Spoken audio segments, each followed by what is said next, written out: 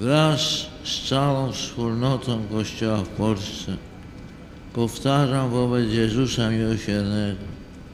Jezu, ufam Tobie. Niech to szczere wyznanie przynosi ukojenie kolejnym pokoleniom w nowym tysiącleciu. Bóg, bogaty w miłosierdzie, niech Wam wszystkim błogosławi.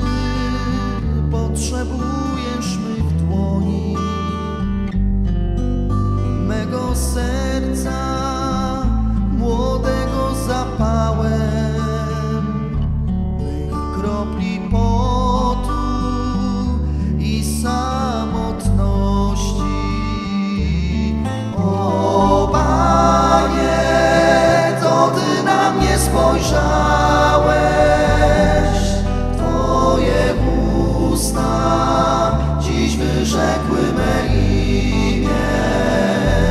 Swoją barkę pozostawiam na brzegu.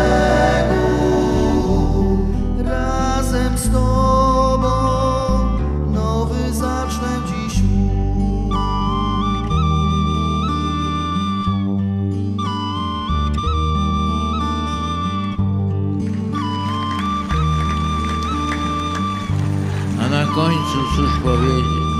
Żal odjeżdża.